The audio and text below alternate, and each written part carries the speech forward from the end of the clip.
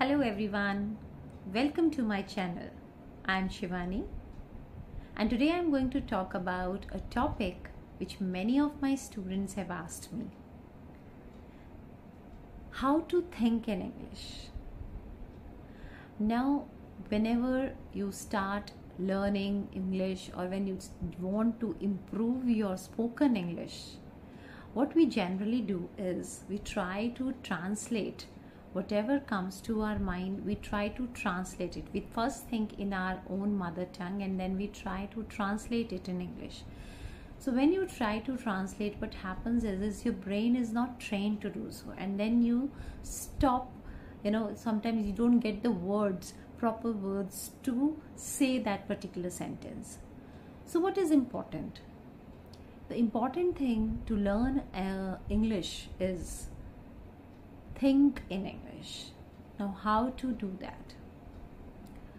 See, first of all, it is very important that you try to create an environment of English. When you start thinking in English, first, if you are thirsty, now think if you are thirsty, what do you think? Do you think मुझे प्यास लगी है or any other uh, language, any other of your mother tongue? Or do you think I am thirsty?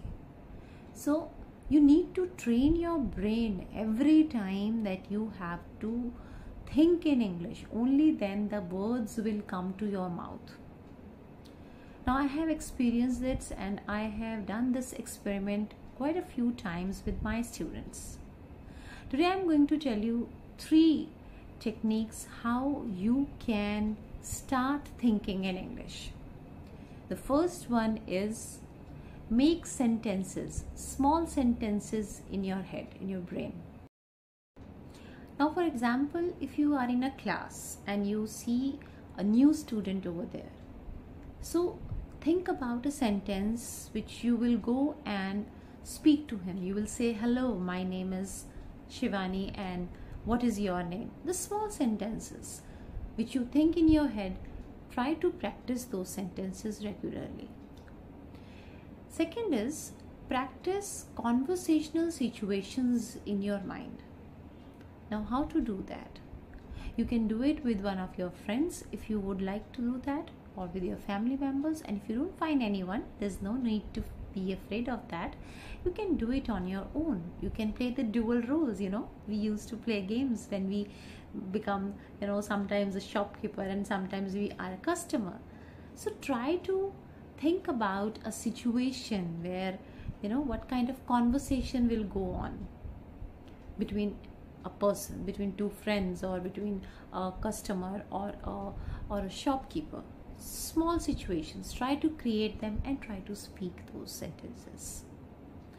The third and very important is revise your day. Now that you can do when you at the end of the day when you are going to sleep just lie down, calm and quiet. Think whatever happened in the whole day. You can think it was a very busy day for me. What you all did since morning till evening, whatever you did. Try to revise your day in your head and try to speak those sentences which come to your brain. Do this regularly, and I'm sure you can improve your spoken English because you will start thinking in English. So let us quickly revise. Number one, make small sentences in your head. Number two, practice conversational situations. And number three, revise your day.